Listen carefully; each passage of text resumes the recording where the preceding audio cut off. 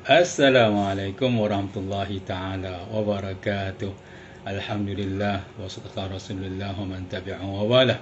Alhamdulillah uh, kita dapat terus kita punya kuliah tafsir satu hari satu ayat.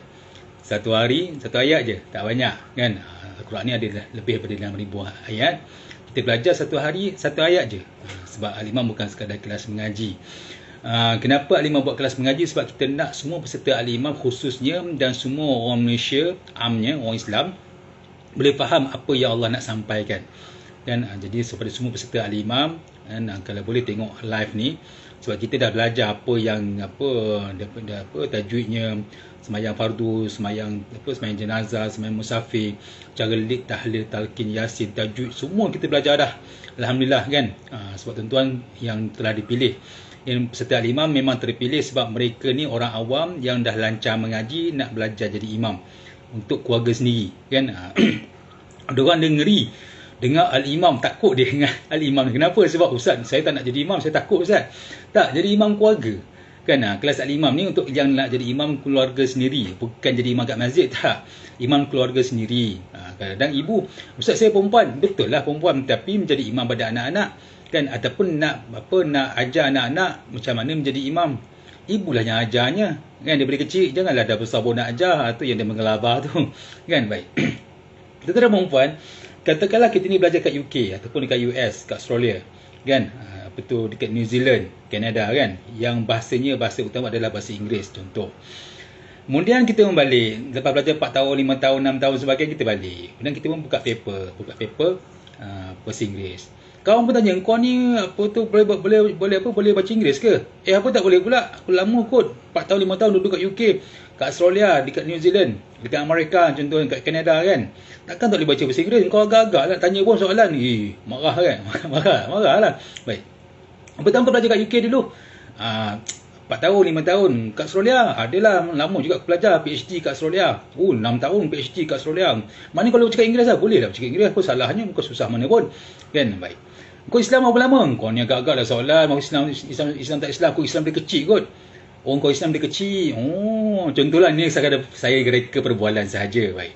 Dan kawan, kawan tu pun cakap, kau kat UK, kau kat Australia, kat New Zealand, dekat apa, dekat US, dekat Canada, 4-5 tahun kau boleh baca boleh, boleh baca paper paper apa paper Inggeris kan kau Islam daripada kecil kau faham tak Quran ah tu aku tak faham lah kan? Kita dengan bangganya kita boleh buka paper buku sebagainya magazine bahasa Inggeris kita, kita kata aku faham apa yang ditulis apa dia syarahkan tapi Al-Quran yang Allah turunkan daripada kita daripada ketika kita kecil kita dapat baca Al-Quran kita tak faham. Ha, kan? Yang ni yang terpukul sangat-sangat. Sebab tu al-imam kami buat kelas ni sebab kami tak nak perbualan ni berlaku di antara kita kita tak nak perbualan ni berlaku di antara kita sampai rasa terpukul. Rasa rasa apa rasa hati tu sakit sangat bila orang kata kau ni apa belajar bahasa Inggeris 4 5 tahun boleh baca magazine boleh boleh baca paper Inggeris. Tapi al-Quran yang Allah turunkan kepada engkau daripada, daripada kita dari kecil kita tak faham-faham. Kan? Ha, sebab tu al-imam buat kelas mengaji kelas tafsir satu hari satu ayat. Dan kita buat malam-malam pula. Ha, nak tidur malam-malam nak boleh nak tidur dah kan boleh. Ajak isteri ajak anak-anak 10 minit je kita baca al-Quran untuk kita faham apa satu hari satu ayat je. Dan macam kita sebut sebelum ni kalau boleh apa yang kita belajar ni malam malam ni dan malam-malam yang seterusnya insya-Allah kita hafal. Kan? Ustaz jangan hafal? Satu ayat satu ayat je. Kan? Malam ni lepas saya tafsir ni tuan-tuan buka ayat yang ke-41 Al-Baqarah ayat, ayat 41 dan kita baca dan kita ulang berkali-kali subuh esok kita ulang lagi zuhur esok kita ulang lagi asar kita ulang lagi dalam solat maghrib ulang insya-Allah isyak esok kita boleh hafal satu ayat satu ayat je esok mana esok tambah lagi ayat yang baru insya-Allah baik. Ayat yang bunyi surah Al-Baqarah ayat 41 Al-Syaitanir Rajim wa aminu bima anzaltu musaddiqan lima ma'akum wa la takunu awwala kafirin bih ولا تشتروا بآياتي ثمنا قليلا وإياي فاتقون Eh, Allah Azim. Al-Baqarah ayat 41 pada untuk malam ni. Baik wa aminu bima anzaltum musaddiqan lima ma'akum jadi kata Allah kepada orang Yahudi khususnya dan orang Kristian supaya mereka beriman apa yang Allah turunkan kepada Nabi Muhammad wasallam baik Tuan-tuan dan kenapa Allah minta apa orang Yahudi, orang Kristian dan kita semua beriman dengan Nabi sebab nama Nabi ataupun ajaran Nabi Muhammad wasallam disebut dalam Taurat dan disebut dalam Injil. Dah ada. Sekadar benda tu diulang sahaja. Kan? Macam kita lah, kita dah tahu pasal negara aku, apa rukun negara ke tak? Kan, kita kecil kat sekolah kita dah menyanyi kan, besar-besar kita just terima, kita ulang benda yang sama je. Kan? Itu rukun negara. Ini Al-Quran yang diturunkan oleh apa oleh Allah kepada Nabi Muhammad SAW dan benda tu ada yang dalam Taurat, ada dalam Injil. Yahudi dan Kristian hanya perlu meng, apa mengimani ataupun meyakini apa benda yang telah diturunkan dalam Taurat dalam Injil. Benda yang sama. Cuma Nabi berbeza kan? Ha, walaupun syariat ada syariat yang Nabi Muhammad agak berbeza ada benda lah berbeza tapi ya, yang lainnya sama. Sembah Allah jangan syirikkan dia. Kan ikut Nabi jangan bergaduh jangan berbunuh sebagainya. Benda yang sama hampir sama. Kan? Baik. Tuan-tuan puan itu yang Allah minta kepada orang Yahudi orang Kristian dan sebagainya. Wa aminu bima anzaltu. Berimanlah dengan apa yang keturunkan kepada apa tu kepada uh, apa apa uh, Taurat dan Injil. Eh dalam Taurat dan Injil dan diulang dalam Al-Quran baik. uh, masalahnya kita hari ni kita kata kita beriman tapi kadang-kadang apa yang Allah minta dalam Quran ada benda yang atau ada banyak benda yang kita tak buat. Contoh kan kata Allah ati Allah wa ati rasul wa li amri minkum taati Allah dan taati rasul dan kalangan apa uh, pemimpin di, di kalangan kamu okay. antara arahan pemimpin adalah kita kena bagi signal bila nak masuk kanan ataupun kiri kan? Ha, dan saya faham orang Malaysia cukup apa cukup sinonim ataupun cukup tahu cukup cukup tak gemar sangat geng-geng yang tak suka bagi signal. Motor ke kereta ke kita besar kereta kecil. Pada saya bukan soal kita besar kereta kecil. Ada yang kata oh dia ni kereta pakai kereta mewah tak bagi signal. Tak. Saya perhati kereta kecil ke kereta besar ke motor ke lori ke dia ikut pada pemandu. Pemandu yang jenis berhemah dia akan bagi signal. Dia tak ada istilah kereta mewah tak mewah dia tak ada. Kan? So, saya perhatikan kan kereta, kereta kecil pun tak bagi signal Kan? Alam tak ada signal. Tak signal ni kan menyelamatkan nyawa. Kan? Kalau kita menyebabkan orang terbunuh, kita dia, apa dia dianggap sebagai membunuh dengan sengaja. Kita buat sebab kita contohlah kita masuk kanan tak bagi signal. Orang mati sebab kita kena tanggung dosa dunia dan akhirat. Signal punya pasal signal tu mahal ke? Oh, dia datang, dia datang sekali tak dengan kereta kan? Ada kereta jual signal lain. Ha, handphone adalah charger lain kan. Tapi signal datang sekali, kenapa tak nak bagi? Ha, tak, tak apa dia dia apa tak lain tak bukan apa maaf saya sebut sebab ego lah. Kenapa tak nak bagi signal? Sebab ego. tu je. Kan? Jadi bagi signal. Signal ni menyebabkan apa dia dapat masuk syurga. Tak ada orang yang bangga dapat bagi signal. Biasanya mana kalau tak bangga, masa dia ikhlas lah insyaAllah. Ya, kan? Dan kalau bangga dapat bagi 2000, dah bangga, payah nak ikhlas. Kan? Jadi bagi signal. Simple. Ya, Allah dah sebut dalam Quran, taatilah pemimpin di kalangan kamu. Pemimpin kata bagi signal. Simple. Tapi ramai kita orang Malaysia tak bagi. Kan? Baik. Yang kedua langgar lampu merah. Yang ni motor lah minta maaf eh. Motor langgar lampu merah ni banyak sangat. Berlaku hampir setiap hari. Kan dekat mana-mana KL ke mana-mana mesti ada yang langgar lampu merah. Dosa ke? Berdosa lah. Tak taubat. Tak pasal-pasal neraka. Sebab kenapa? Engkau pasal neraka kenapa? Nak katakanlah begitu. Langgar lampu merah. Tak pasal-pasal. Ha, neraka ni kalau siapa, siapa berani sini ambil lilin bakal bakal tangan. Ambil, ambil lilin bakal mata. Saya berani. Tak berani. Tak tahan. Tak sanggup. Kan? Bakar nak sendiri. Sanggup. Dengan lilin. Tak sanggup kan tapi kita sanggup biarkan diri kita dibakar dengan sebab langgar lampu merah contoh baik seterusnya benda-benda yang yang apa yang nabi buat dan juga sahabat buat dan apa nabi suka kalau kita buat contohnya apa suka benda yang kemas innallaha jami yuhibbu jamal Allah ni kata nabi cantik dan suka kecantikan antara benda yang simple orang lelaki yang biasa pergi masjid ke surau masuk ke rumah masing-masing berapa ramai yang masuk ke rumah masing-masing dan lagi masuk rumah Allah di masjid yang susun slipper tak ramai. Saya boleh kata saya kalau nak katakan kita potong kerat jari ni memang lampau sangat. Tapi saya boleh jamin dah semua masjid di Indonesia semua. Saya boleh jamin insyaAllah. Kecuali masa PKP semua masjid di Indonesia susun slipper tak disusun waktu masuk masjid. Dan kita tak rasa apa-apa pun tak rasa malu pun. Sedangkan waktu kita apa masuk sekolah ataupun kita waktu kalau kita tengok dekat Jepun slipper tu disusun dengan rapi dengan kemas. Jepun ni kafe ke Islam? Kafe tapi kenapa dia boleh kemas kan Sedangkan kita faham Nabi sebut innallaha innallaha jamil yuhibbu jamal. Allah tu cantik, suka ke kecantikan, kekemasan. Kan? Nabi tak pernah pakai baju yang yang yang selebih ni, tak ada. Nabi kemas. Kan? Dan slipper Nabi dipegang oleh sahabat. Ya? Mana kekemasan dia rapi Nabi punya cara. Jadinya kita dalam masuk rumah, masuk masjid, masuk surau kalau boleh susun dah slipper tanda kita ikut Nabi, sayang pada Nabi. Benda simple simple dia. Nak minta, minta kalau kita nak minta lah, jom kita kemaskan laut. Ha, susah lah pula kan. Laut yang banyak sampah tu. Berat lah Ustaz nak buat. Tak apa kita buat benda simple simple. Sebab nak buat berat-berat ni payah. Buat benda yang simple. Kalau simple pun tak boleh buat. Ya, baik. Yang ketiga, yang keempat. Kan, benda ni saya rasa Orang lelaki semua orang tu. Hari ni hari Selasa, insyaAllah hari, hari, hari Jumaat nanti kita tengok. Berapa ramai yang keluar daripada masjid, dipastikan kipas, lampu, tingkap, pintu ditutup, sejadah dilipat di masjid surau. Tak ramai. Saya rasa saya hidup lebih 40 tahun dah. kan? Saya pergi mana-mana. Dekat Kalau dekat apa? Kalau dekat Jordan, Mesir tak ada sejadah. Sejadah tu dengan kapet. Ya, dekat Jordan, dekat Mesir, dia tak ada sejadah macam kita. Kita sejadah terbentang-bentang. Dekat Malaysia, sejadah dibentang-bentang. Saya boleh boleh jamin lah saya rasa. Mana-mana masjid Ya, mana-mana masjid yang bentang sejadah kalau habis main Jumaat, insya-Allah sejadah akan tergabur, jarang-jarang orang tolong kemas. Ada tapi tak ramai. Sedangkan sejadah digunakan bersama. Nampak? Eh Nabi tak buat ustaz. Eh tak, Nabi telah nampak orang kecil kat masjid Nabi bersihkan. Nabi pernah nampak orang yang buang kahak dekat tepi dinding masjid Nabi yang ambil bersihkan. Nabi ketua negara sebagai raja di Madinah. Ya kalau dibolehkan dikatakan sebagai raja, Nabi yang bersihkan. Kita orang biasa pun tak boleh nak bersihkan. Contoh. Baik. Kata Allah dalam surah Ali Imran ayat 31, "Qul in kuntum tuhibbunallaha fattabi'uni yuhibbukumullah." Kalau katakanlah wahai orang beriman, kalau engkau sayangkan Allah, ikutlah Nabi Muhammad sallallahu alaihi wasallam. Ha, Nabi suka kemas, kita kemas. Baik. Seterusnya. Kemudian apa tu kadang-kadang kita sebut eh orang Yahudi orang Kristian dah lah hidup apa kita apa bertuah hidup zaman apa dapat hidup zaman Rasulullah SAW. Ni kalau lah aku hidup zaman Nabi mesti aku ikut Nabi. Iya ke? Signal pun tak nak bagi kalau ikut zaman Nabi nak ikut Nabi kalau kalau kapal sekasar mungkin salam lah orang kata. Lampu merah pun langgar kata zaman Nabi ni ikut Nabi. Kan? Kalau signal pun tak nak bagi Nabi kata Ta'ala, apa kata Allah Ta'ala adalah pemimpin. Pemimpin buat undang-undang mengatakan lampu merah jangan dilanggar signal bagi. Itu pun tak nak ikut nak ikut Nabi pergi perang.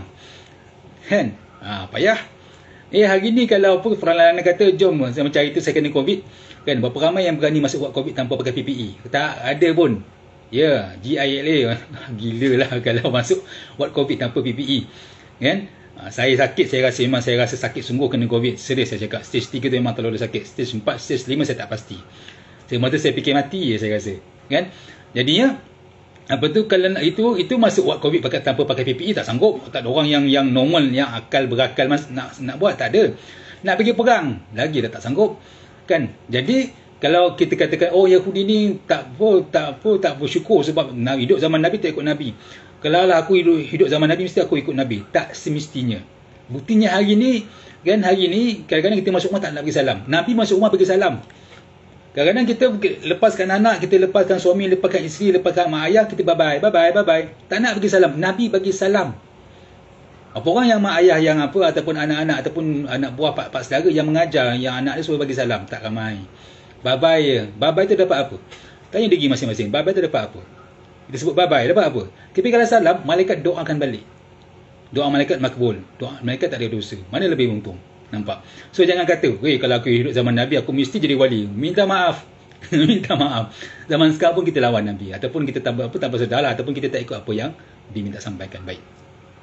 Kata Allah lagi, "Wala tasharu bi ayati thamanan qalila." Saya kata saya dah 10 13 saya terasa saya terpaksa bukan terpaksa berhenti tak? Saya nak berhabis berhabis. Sebab saya rasa tak boleh kan? Kalau tak nanti setiap mana tak berhabis. Kan? Baik. Ini mesti saya cuba apa cuba dengan ringkas. Baik. Kata Allah wala tasharu bi ayat wala tasharu bi ayati thamanan qalila. Maksudnya jangan jual ayat aku kata Allah dengan harga yang murah. Yang pertama antaranya mungkin kita ni ada dalam company kita ada jawatan kan kadang-kadang sebabkan jawatan tu kita berdiam atas maksiat yang berlaku dalam dalam company tu supaya kita ni tak dibuang ataupun tak di tak di apa tak diturunkan pangkat. Kita berdiam. Kan? Ataupun kadang-kadang kita apa kita sebab kita ni jaga keselamatan negara kita terima rasuah. Kan? Ha, sedangkan keselamatan negara kita dah bersumpah untuk jaga keselamatan negara. Kan? Contohnya baik. Kemudian sambungannya lagi sebenarnya ayat wala tashrubi ayat tamanan qalila ni jangan jual nama apa agama Allah ataupun ilmu Allah ataupun apa uh, nilai-nilai murni itu dengan harga yang murah. Termasuk juga siapa saja yang belajar agama belajar ilmu apa saja. Sebab Nabi sebut man ta'allama ilma siapa saja yang belajar agama jangan dia buat tanpa kerana Allah. Dia mana semua benda kita buat mesti kerana Allah. Tak boleh kita orang ustaz kena kerana Allah aku belajar matematik tak tak perlu. Tak Belajar matematik ke, belajar ilmu perang ke, belajar ilmu senapang ke, pedang ke, ilmu agama ke, nuklear ke, apa benda kita belajar, kita repair handphone ke, semua mesti kerana Allah. Kan? Baik. Sebab Nabi sambung dekat hujung tu. Ya. Siapa yang belajar sesuatu tanpa kerana Allah lam yar lam yarah raihah jannah yaumal qiyamah. Siapa yang belajar sesuatu ilmu tanpa niat kerana Allah walaupun dia belajar matematik. Mana dia nak glamour aku nak jadi macam apa pakar matematik tanpa kerana Allah tak cium bau, bau syurga. Bahaya. Kan? Ini hadis daripada Sayyidina Abu Hurairah. Kan hadis yang sahih daripada Sayyidina Abu Hurairah mengatakan siapa yang belajar ilmu apa saja ilmu tanpa kerana kerana Allah agama lagilah lagilah perlu.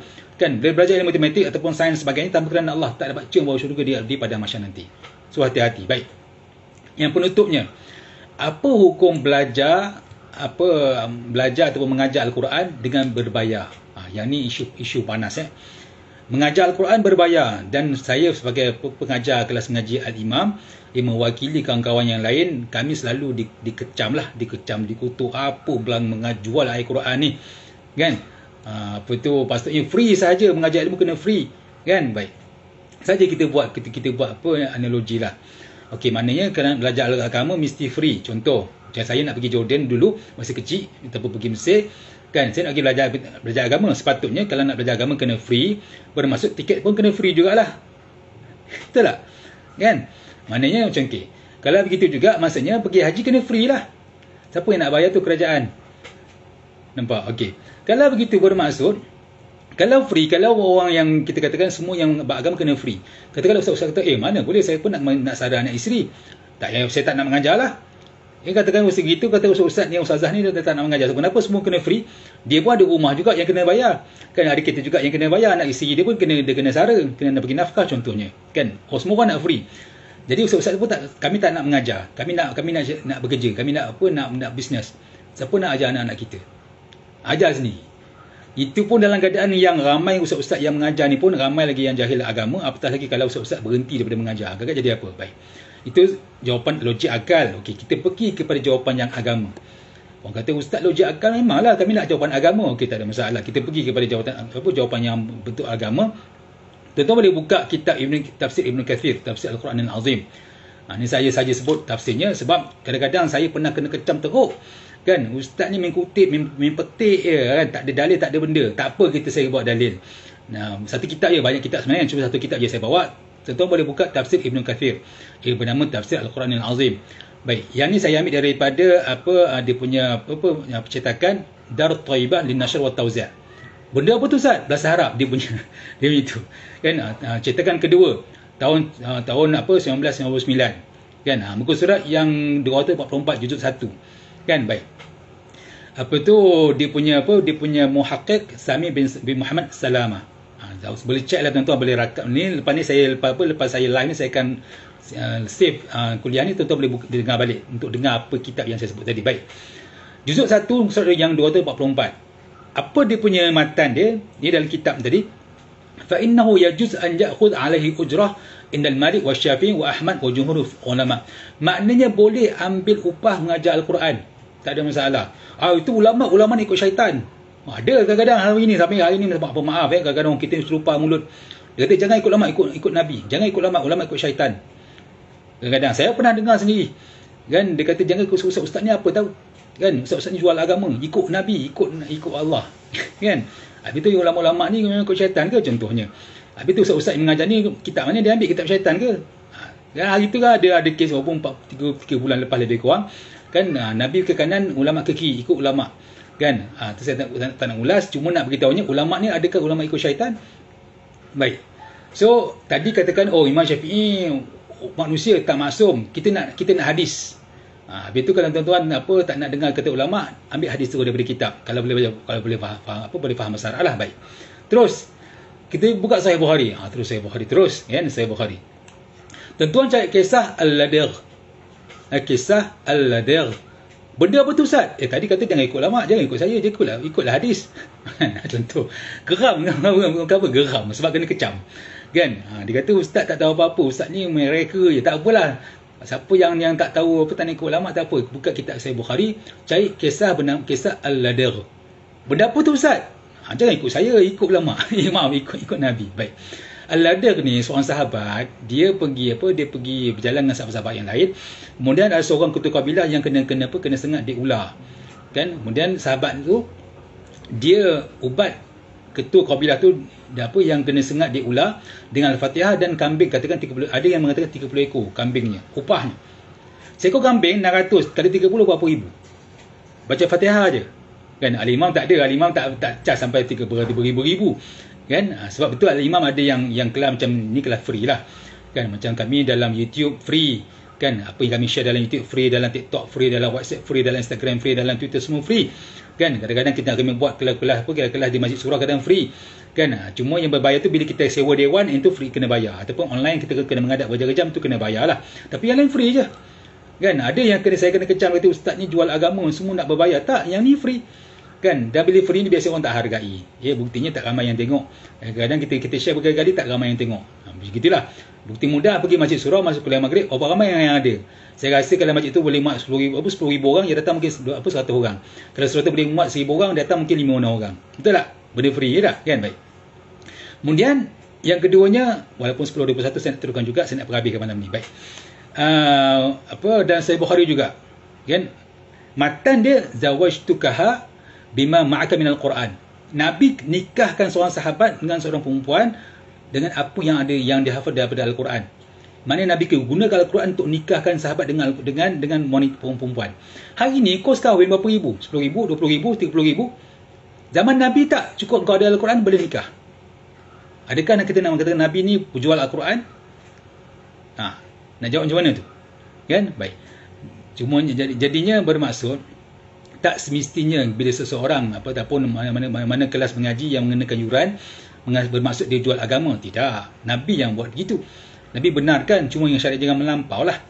Kan? Kalau tak nanti kalau semua nak free bermaksud saya sini saya seronok juga. Semua kalau semua nak free saya nak pergi Mekah pergi haji free. Siapa nak sponsor? Contohnya kan saya nak pergi belajar balik. Bersungguh memang saya nak belajar balik. Kalau boleh kat UAE ke mana-mana ke sama belajar balik. Kan walaupun dah apa dah habis belajar kat Jordan saya teringin sangat nak pergi syariah balik. Walaupun syariah perang saya nak pergi balik untuk belajar agama. Ha, siapa nak sponsor? Kan ustaz cek sendiri lah duit. Ha, nampak? Bermaksud benda tu perlu bayar. Kan cuma ber, berpatutan lah kan baik. Tentara perempuan apa jadi secara apa kesimpulannya ya mengajar Al-Quran ataupun belajar Al-Quran dia perlukan bayaran bila keadaan memerlukan. Macam sekarang ni, ya, tak ada orang yang datang apa datang eh, apa bawa kereta isi, isi air dalam kereta tak ada. Walaupun hybrid mesti ada bateri. Betul tak? Kan? Jadi benda tu perlukan kos. Ha, sebab tu macam kelas alimam, ya, kita ada kelas yang berbayar, ada kelas yang percuma. Macam contoh hari ni lah macam mana saya spend masa 20 apa 20 minit untuk tuan-tuan dan perempuan kan dan sebelum saya spend masa 20 minit ni saya sejam saya carikan bahan nak mengajar ni tuan-tuan dan puan-puan tanya tafsir ni dia bukan mengajar buka kitab tu. Mengajar tak saya perlukan buat rujukan. Dia kena tak mutalaah kita kitab supaya benda yang saya mengajar tu sesuai dengan ahli sunnah wal jamaah. Dan, dan saya pula ada tauliah jaiz jadinya apa yang saya cakap dipantau.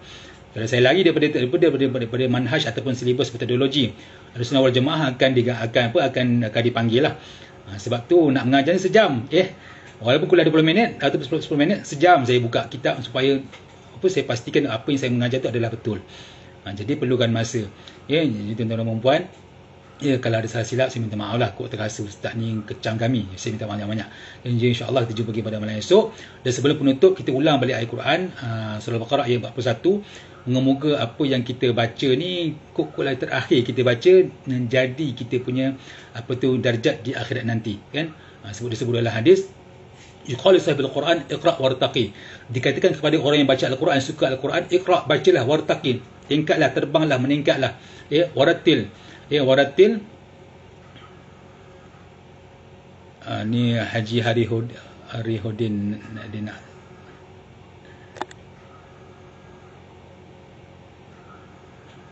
Okey, uh, apa tu? Eh waratil kama kunta turatil fid dunya. Jadi kata Allah, maaf